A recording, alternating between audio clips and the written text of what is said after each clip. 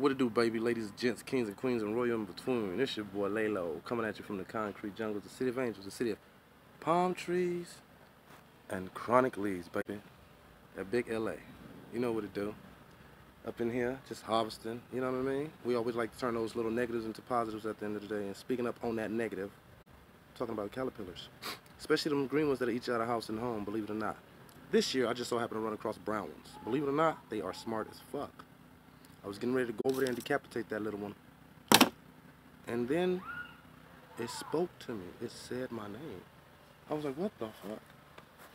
I can't kill you.